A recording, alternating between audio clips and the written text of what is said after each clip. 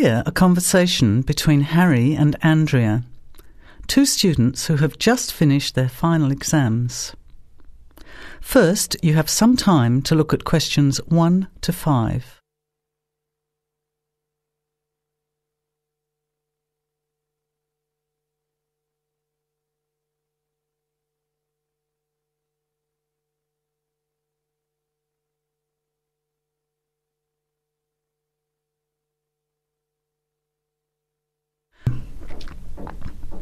Listen carefully to the conversation and answer questions 1 to 5. Hi, Andrea. How are you feeling now that exams are over? It's fantastic to have finished, isn't it? And to sleep in every morning. What about you? Well, I've been catching up on sleep too, but I've got a lot to do before I leave for England. Perhaps you could give me some advice. I've got a lot of things I can't possibly take back with me, but I don't know what to do with them. Well, it depends on what sort of things they are and whether you're thinking of giving them away or selling them. Well, almost everything furniture, the fridge, and other kitchen stuff that I bought from the previous tenant. But the new people have already got what they need, so they're not interested in buying stuff from me. I can't afford to give it away, but I'm not sure how to sell it all. Oh, and there are some clothes and books as well. Why can't you take them? The books are really heavy. It's so expensive if you exceed the airline baggage allowance. And the clothes just won't all fit in my suitcase. It's amazing how much stuff I've accumulated since I've been here. Anyway, I don't think I'll need as many summer clothes in England as I have here in Australia. I see. Well, there are several alternatives. First of all, you could put up notices around the university about the books. You know, on the notice boards in the Student Union building and in the Economics Department. Anywhere second and third year students will see them. People are always keen to buy cheap textbooks. Okay, what, what should I say on the notices? Just put the titles, authors, and price you want, your name, of course, and maybe put your phone number on those little tear off tags. That's a good idea. And what about the furniture? You could try doing the same thing, but usually students are away all summer, so they don't want to buy furniture now. Another place to try might be a second hand shop. Someone from the shop will usually come around and give you a free quote, and then you can decide. But you don't usually get much money for that sort of stuff. Before you hear the rest of the conversation, you have some time to look at questions 6 to 10.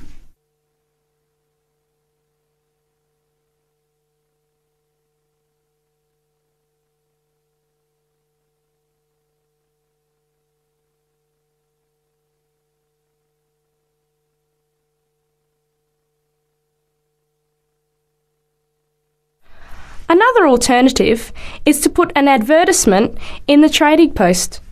Do you know that paper? It comes out every week advertising things people want to sell. You have to pay to put the advert in and then hope people phone. Give them as much information as possible, and if they're interested, invite them to come and have a look. The hard part is agreeing on a price. No, I haven't seen the trading post, but I should have a look at it. And I could advertise the fridge, the microwave, and the furniture. But the kitchen stuff isn't really that good. You know, old cutlery, a few pots and pans, and some plates and things. What shall I do with them? Well, another option is to donate the kitchen things to a charity shop. You know, like the Salvation Army or St. Vincent de Paul. Why don't you get a second-hand shop to give you a quote first? Yes, I could do that. Find out how much they'll give me, and then decide whether to sell them or give them away. But I've still got the clothes. A charity shop will take them too, as long as they're in good condition. And even though you don't get any money, at least you know that someone who really deserves some help has benefited. That's a good point. I'll advertise the expensive stuff, the furniture, and donate the clothes and kitchen stuff. Let's go and buy a trading post and you can help me write the advert. Well, actually, I'm interested in buying the fridge and the microwave, depending on the price, of course. Okay, let's see how good you are at bargaining. That is the end of part one. You now have half a minute to check your answers.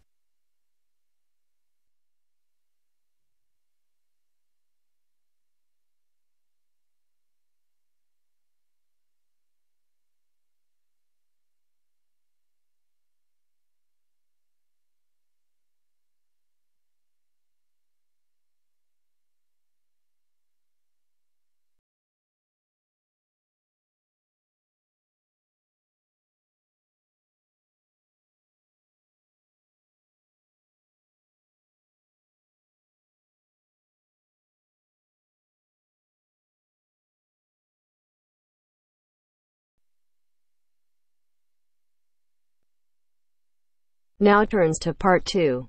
Part two. You'll hear a radio program on the process of making beer. First, look at questions 11 to 14.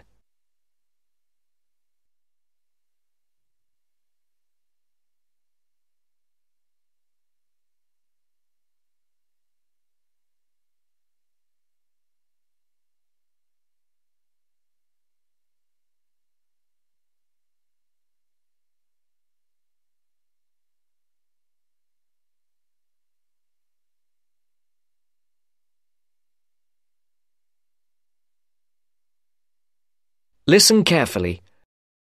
Hello and welcome to Gourmet Evening. And this week we're looking at the world's popular beverage, a great favourite today, beer. And in the studio to tell us all about it is Clark Maxwell. Beer is one of my personal favourite beverages, and I've got a number of facts, tips, and trivia about beer to share with you. So, who invented beer and when? What is beer made of? Actually, historians are not entirely sure when beer was invented, but they guess that beer was created accidentally by early nomadic tribes roughly 10,000 years ago. The four primary ingredients are malt, hops, yeast, and water. Malt, which gives the beer a sweet taste, is made from barley soaked in water until its husks open and sprout. The sprouts are then dried and crushed. The small flowers of the hops vine are added partly because they taste bitter, helping balance the sweetness of the malt. Hops prevent the growth of bacteria that can spoil beer. Yeast is responsible for fermentation, which creates the alcohol and carbonation. Beer makers sometimes use additives or substitutes for malt or hops. Substitutes such as corn or rice can make a beer lighter or cheaper to produce. Before the broadcast continues, look at questions 15 to 20.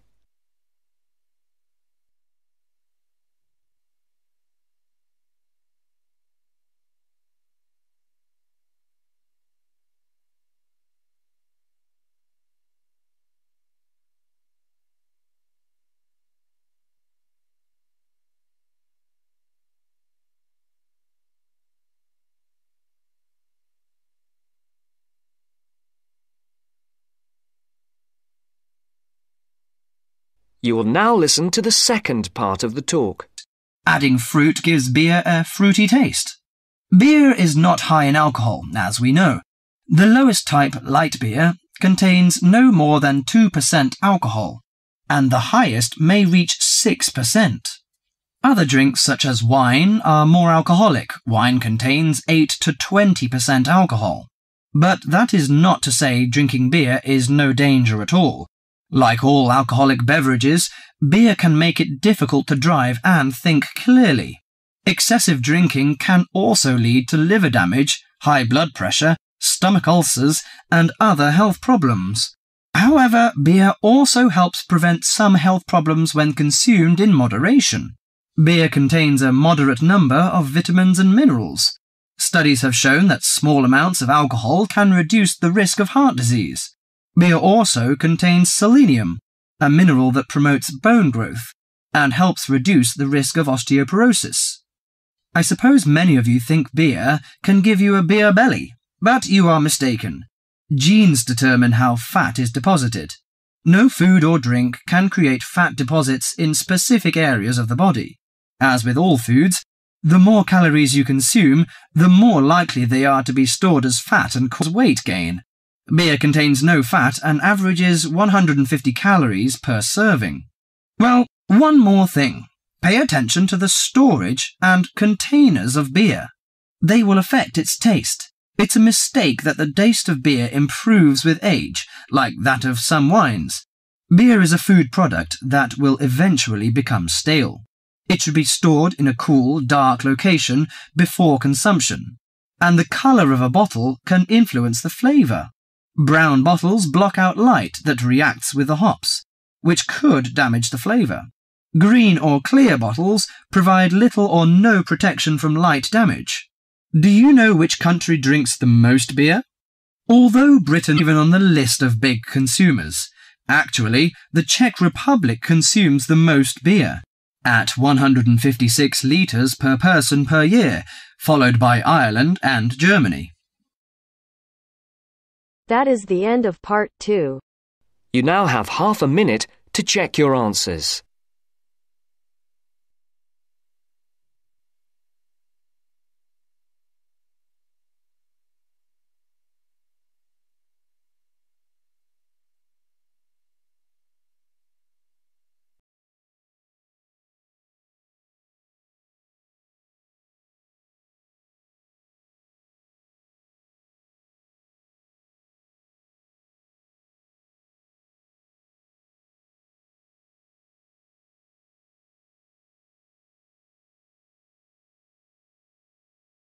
Now turns to part three. Part three. First, you have some time to look at questions 21 to 26.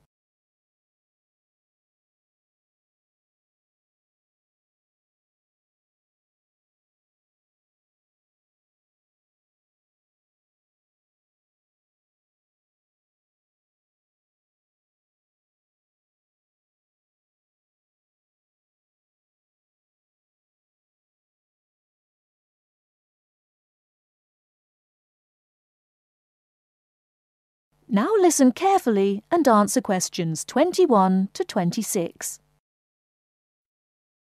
Good evening, and welcome to this month's Observatory Club lecture. I'm Donald Mackey, and I'm here to talk to you about the solar eclipse in history. A thousand years ago, a total eclipse of the sun was a terrifying religious experience. But these days, an eclipse is more likely to be viewed as a tourist attraction than as a scientific or spiritual event. People will travel literally miles to be in the right place at the right time to get the best view of their eclipse. Well, what exactly causes a solar eclipse? When the world goes dark for a few minutes in the middle of the day. Scientifically speaking, the dark spot itself is easy to explain. It is the shadow of the moon streaking across the earth. This happens every year or two, each time along a different and, to all intents and purposes, a seemingly random piece of the globe. In the past, people often interpreted an eclipse as a danger signal heralding disaster, and in fact, the Chinese were so disturbed by these events that they included among their gods one whose job was to prevent eclipses. But whether or not you are superstitious, or take a purely scientific view, our earthly eclipses are special in three ways. Firstly, there can be no doubt that they are very beautiful.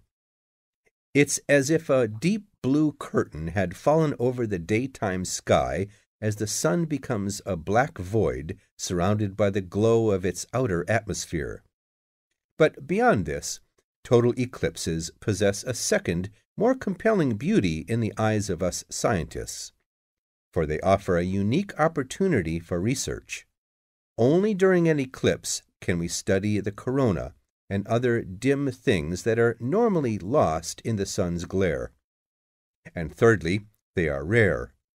Even though an eclipse of the sun occurs somewhere on Earth every year or two, if you sit in your garden and wait, it will take 375 years on average for one to come to you.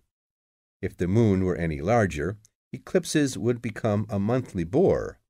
If it were smaller, they simply would not be possible.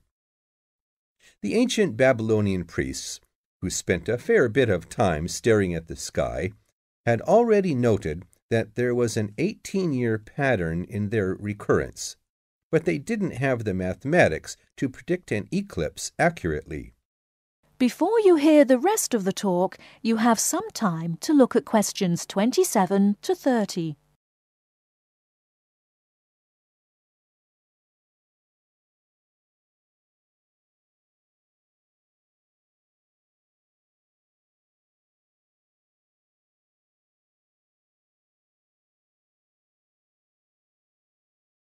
Now listen and answer questions 27 to 30. It was Edmund Halley, the English astronomer, who knew his maths well enough to predict the return of the comet, which incidentally bears his name, and in 1715 he became the first person to make an accurate eclipse prediction. This brought eclipses firmly into the scientific domain and they have since allowed a number of important scientific discoveries to be made. For instance, in the eclipse of 1868, two scientists, Janssen and Lockyer, were observing the sun's atmosphere, and it was these observations that ultimately led to the discovery of a new element. They named the element helium after the Greek god of the sun. This was a major find because helium turned out to be the most common element in the universe after hydrogen. Another great triumph involved mercury. I'll just put that up on the board for you now. See, there's Mercury, the planet closest to the Sun. Then there's Venus, Earth, etc. For centuries, scientists had been unable to understand why Mercury appeared to rotate faster than it should. Some astronomers suggested that there might be an undiscovered planet causing this unusual orbit, and even gave it the name Vulcan. During the eclipse of 1878, an American astronomer, James Watson, thought he had spotted this so called lost planet. But alas for him, he was later obliged to admit that he had been wrong about Vulcan and withdrew his claim. Then Albert Einstein came on the scene. Einstein suggested that rather than being wrong about the number of planets, astronomers were actually wrong about gravity. Einstein's theory of relativity, for which he is so famous, disagreed with Newton's law of gravity in just the right way to explain Mercury's odd orbit. He also realized that a definitive test would be possible during the total eclipse of 1919, and this is indeed when his theory was finally proved correct. So there you have several examples of how eclipses have helped to increase our understanding of the universe. And now let's move on the social.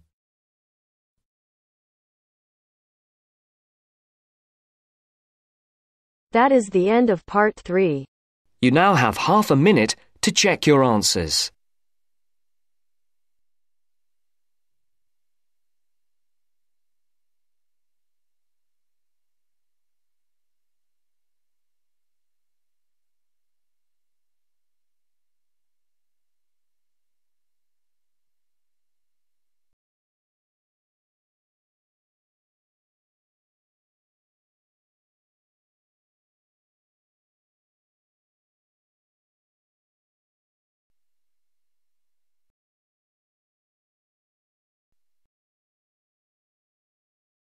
Now turns to part four. Part 4. You will hear part of a lecture about a crater in Australia. First, you have some time to read questions 31 to 40.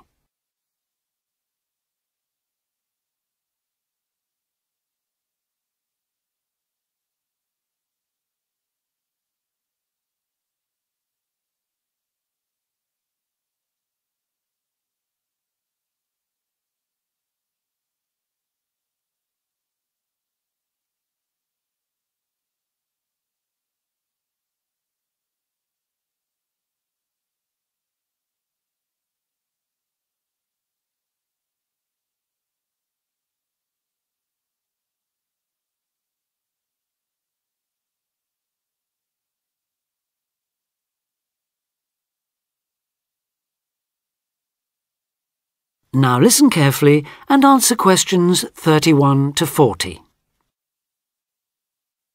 Lake Acraman in South Australia is Armageddon for the purist. No other meteorite impact on Earth has stamped the surrounding rocks with such an abiding, unequivocal geological record of collision, earthquake, wind, fire, and tsunami, the giant waves formed by major Earth movements. The story it tells is elemental without dying dinosaurs or even Bruce Willis to complicate its simple message of destruction. First, the numbers. About 590 million years ago, a rocky meteorite more than 4 kilometres across and travelling at around 90,000 kilometres an hour slammed into an area of red volcanic rock about 430 kilometres northwest of Adelaide. Within seconds, the meteorite vaporized in a ball of fire, carving out a crater about 4 kilometres deep and 40 kilometres in diameter, and spawning earthquakes fierce enough to raise 100 metre high tsunamis in a shallow sea 300 kilometres away. Ancient, stable, and unglaciated, the bedrock of Australia preserves some of the most photogenic impact craters in the world. Acraman is not one of them. Half a billion years of erosion has taken its toll. A salt pan surrounded by low hills is all that remains to mark the site of the cataclysm. The true nature of the place dawned on geologist George Williams of Adelaide University in 1979. Gazing at a sheaf of newly acquired satellite images, he saw the small circular shape of Lake Acraman surrounded by a ring of faults and low scarps 40 kilometres across, and an outer ring twice this size. A year later, he made it to the site. On islands near the centre of the lake, Williams found bedrock shattered in a conical pattern that experts consider a sure sign of a meteorite impact. Except for a crater, which had long since eroded, the area was a textbook example of an impact site. In 1985, further intriguing evidence turned up. Vic Gostin, another Adelaide geologist, had been studying a thin band of fragmented red volcanic rock in 600 million year old shale in the Flinders Ranges, more than 300 kilometres east of Acraman. To his bewilderment, the volcanic chunks turned out to be a billion years older than the shale. Where had they come from? Comparing samples, Gostin and Williams found that their rocks were identical. The red rock in the Flinders Ranges had been blasted there from Acraman. Later, the same material turned up at sites 500 kilometres from Acraman.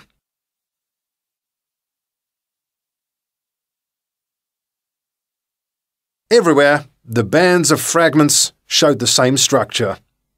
Coarse pebbles at the bottom, then a cocktail of silt and sand, then layers of increasingly fine sand distorted on top into a wavy, scalloped pattern.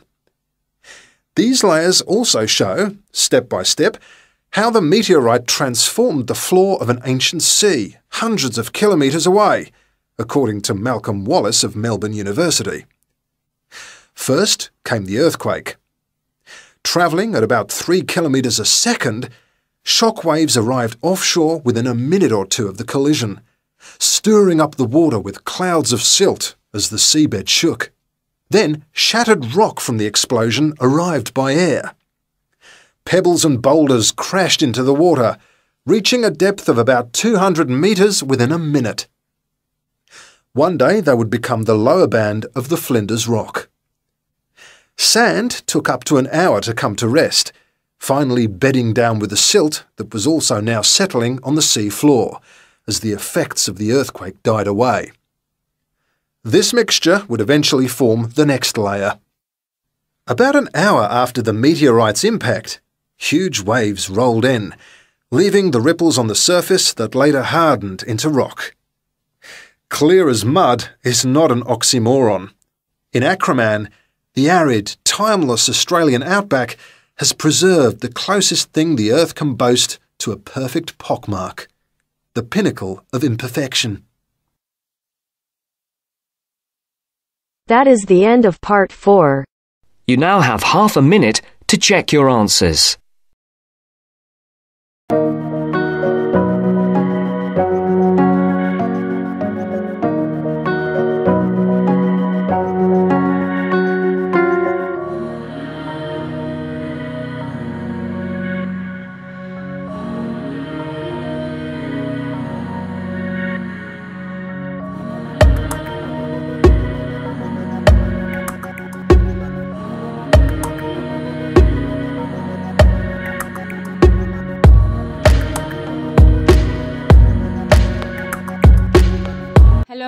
Welcome to our channel. Today in this video, I'll discuss with you writing task 1 and the question for today is the graph below shows the way people of Canada invested their money in stock market during the year 2011 to 2016. Summarize the information by selecting and reporting the main features and make comparisons where relevant. So we are given this graph in which uh, the amount is invested in stock market by the Canadians and it's in the amount is in billion and the years are 2011 to 2016 this uh, line one is representing bonds and this unshaded or black one is representing the stocks.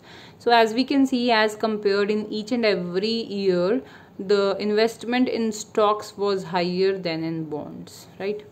And uh, one more thing can be noticed here like as the time passed or uh, after year and year uh, both the bonds and the stocks investment uh, showed or uh, you know witnessed an increasing trend.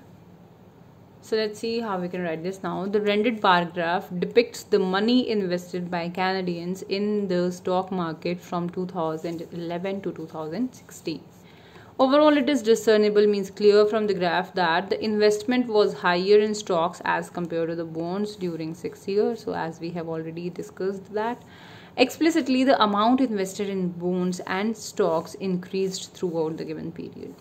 In 2011, stock, stock purchase commenced at uh, 2010 billion, which was almost double the bonds investment of 100 billion. So, here we can see like the stocks. Uh, the purchase of stocks began at 210 in the year 2011 and it was almost double the investment of bonds which was 100 billions. After a year the funding in stocks slightly increased by 6 billion and reached 227 billion in 2013 so after a year what happened? The funding in stock increased by just 6 billions like from 2010 to 2016 and then uh, in 2013 it reached at 227 billion However, bond financing rose to 123 and 157 billion in the respective next two years. So, in the next two years, in the respective next two years, the bonds investment increased to 123 billion in 2012 and 157 billion in 2013. In 2014, the purchase of stock was 289 billion, which surged slightly to 297 billion in 2015. So we can see here in 2014 the investment in stock was 289 billion which increased slightly to 297 in 2015 and the you know investment peaked at 311 in the year 2016 or in the last year. In the last year, the investment in stocks peaked at 311 billion. The flow of funds to bonds, if we talk about bonds, uh, the flow of funds means the investment was 162 billion in 2014, which then steadily grew to 179 billion in 2015. So, if we talk about 2014, it was 162 and increased to 179 in sorry we were talking about the year 2014 and it was 162 in 2014 and increased um, or grew to 179 billion in 2015 uh, before peaking at 188 billion in the last year of the period. So before reaching at or peaking at 188 billions in the last year it was 179 billions in 2015 and 162 billion in 2014 so this was for today. If you like the video do hit the like button and subscribe to our channel. I'll meet you in the next video. Till then bye and take care